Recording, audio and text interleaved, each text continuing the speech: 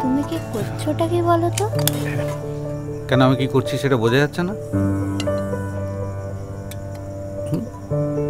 কি খুঁজছো বলো আমি দেখছি। তেল। তেল তো একটা কমন জিনিস কোথায় গেল? আচ্ছা এ তো এদিকে আছে তুমি দেখতে পাচ্ছ না? হুম ঠিক আছে। থ্যাংক ইউ তুমি কি সামহাও রান্না করার চেষ্টা করছ নাকি? হ্যাঁ কেন প্রবলেম কি? না মানে আর ইউ সিরিয়াস চুপ কথা। আমি আমি আমি কি একটু হেল্প করব?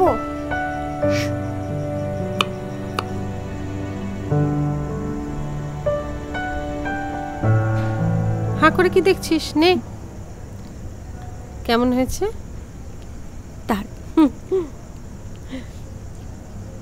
আমার মা তো কখনো আমার জন্য এত সুন্দর সুন্দর রান্না করার সুযোগ পায়নি। আমার বাবা তো ছেড়েই দাও। আবার সরি আমি ঠিক করেছি এবার থেকে প্রত্যেক সপ্তাহে তোর জন্য রান্না করব। কিন্তু একটা শর্ত আছে। এবার তুই একটা ঠিকঠাক প্রেম করবি বুঝতে পেরেছিস? ওই দিন রাত ছেলেদের সঙ্গে কি একটা ভাষা বলিস লু লুল্লুরি। হ্যাঁ লুল্লুরি করে বেড়ালে চলবে না হ্যাঁ? এত ছেলেপুলের মধ্যে একটাকেও মনে ধরছে না এটা তো হতে পারে না।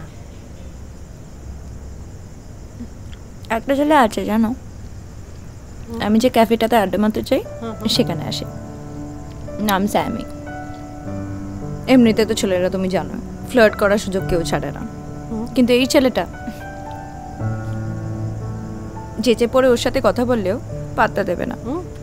বাহ! তাহলে এই ছেলেটার অন্তত মন ভেঙে দিস না। এটা তো ভালো ছেলে নিরীহ ছেলে। না না পাগল নাকি?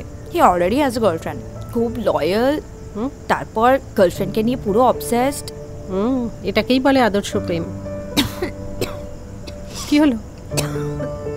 প্রেম ব্যাপারটাই ইমপারফেক্ট তার আবার আদর্শ। এই তাড়াতাড়ি করে খেয়ে নে। চল তো একটা নাইট শো সিনেমা যে তুমি যাবে নাইট শো হ্যাঁ। শরীর খারাপ করল নাকি তোমার? না আমার সঙ্গ দোষ হয়েছে। চ না যাই। বল্লভপুরটা খুব ভালো হয়েছে যাবি? চল টিকিট বুক করতে হবে। হ্যাঁ চ।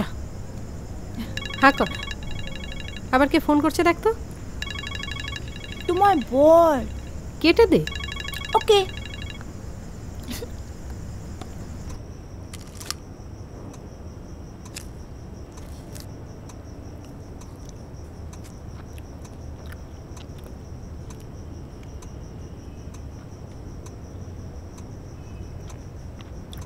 তোর মায়ের সাথে আজকাল কথা হয়?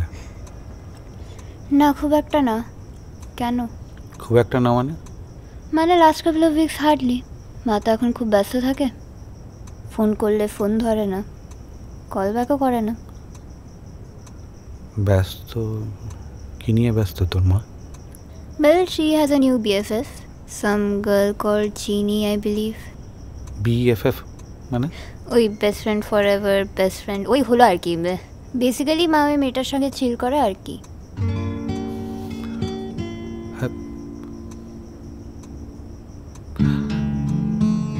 তোর মার কি এখন চিল করার বয়স নাকি? অদ্ভুত। মেয়েটা জালি কিনা কে জানে? আজকাল খুব হচ্ছে এইসব। কেন তুমি জেলাস নাকি?